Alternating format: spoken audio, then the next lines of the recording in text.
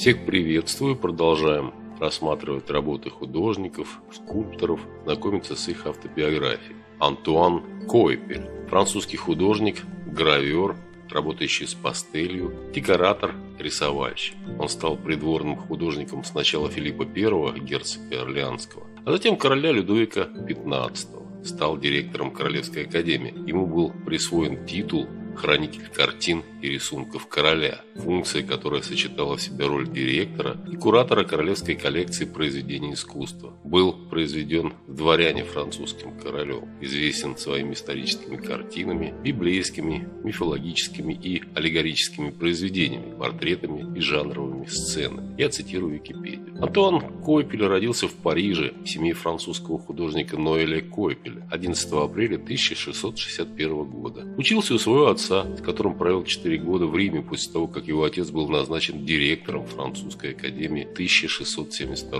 году. В Риме он делал наброски античных памятников и произведений искусства, изучал работы итальянского ренессанса и барокко, в частности Рафаэля, Караччи, Тициана, Веронезе и Кареджа. Познакомился с современными художниками Джан Лоренцо Бернини и Карло Мараттой. Бернини стал его наставником. Он получил приз за рисунок в Академии Сан-Лука, Ассоциации художников в Риме. В 1689 году получил важный заказ на алтарный образ в соборе Парижской Богоматери. В 1681 в возрасте 20 лет он был принят в качестве действительного члена Королевской Академии с представлением работы под названием «Отдых Людовика XIV в лучах славы после Неемеинского мира». Работал над многими строительными проектами французского короля того времени, в том числе и в Версале, Трианоне, Марли и Медоне. В 1685 году был назначен премьер-министром герцога Орлеанского, старшего брата французского короля, которым в то время был Филипп I, герцог Орлеанский. Орлеанский дом оставался важным покровителем художника на протяжении многих лет. Между 1701 и 1706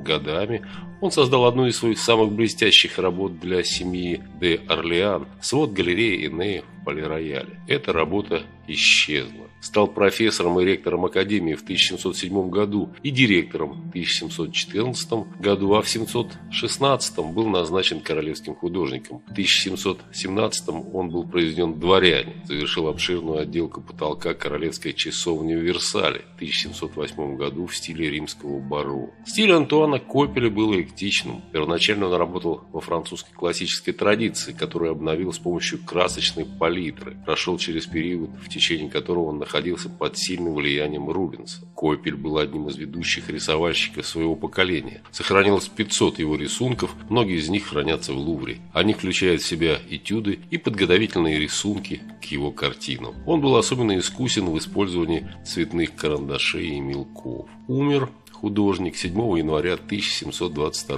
года в Париже. Ну, вот так вкратце из Википедии переводной о французском художнике, гравере, декораторе, рисовальщике Антуан Койпель. Пока-пока, до свидания, смотрим работы.